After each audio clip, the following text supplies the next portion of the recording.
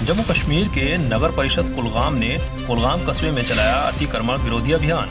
इस अभियान का नेतृत्व पुलिस और राजस्व अधिकारियों के साथ नगर परिषद अध्यक्ष कुलगाम ने किया।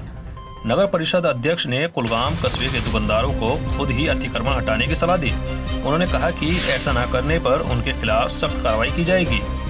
एबीडी न्यूज़ के लिए संवाददाता की रिपोर्ट।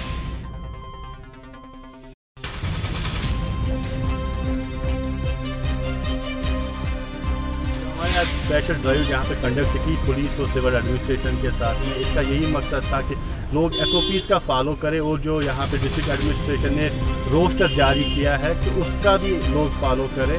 कोविड को हल्के में ना लें। अभी कुलगाम जो है ऑरेंज जोन में है। हमारी भी कोशिश रहेगी और लोगों लोगों को भी चाहिए कि वो हमसे ताउन करें ताकि हम कुलगाम को ग्रीन जोन में लाए। और इसके साथ साथ जो रोड साइड्स पे जो इंक्रेजमेंट होती है यहाँ पे बहुत ज़्यादा इंक्रेजमेंट है। तो हमने उन लोगों को भी आज लास्ट वार्निंग दी कि वो इंक्रेजमेंट ना करें। आगे बहुत ख़तरनाक इकदाम उठा, उठा, उठाए जाएँगे 大